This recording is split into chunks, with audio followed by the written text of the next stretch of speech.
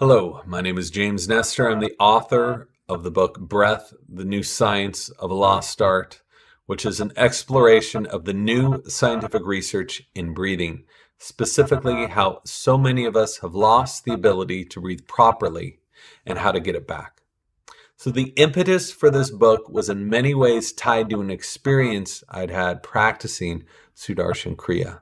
This was years and years ago when I was suffering from chronic bouts of bronchitis, wheezing, and minor grade pneumonia. I then conducted an experiment with Sudarshan Kriya at the University of San Francisco Hypoxia Lab, where the researchers took blood draws before and after I practiced Long Kriya, and they showed a massive transformation happening in my body.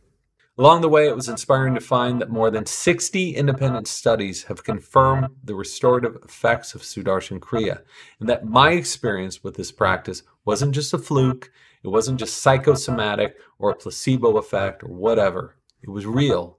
Breathwork exercises like Kriya, science is clearly showing us have a profound effect on our long term health, on our happiness, and likely can help increase lifespan.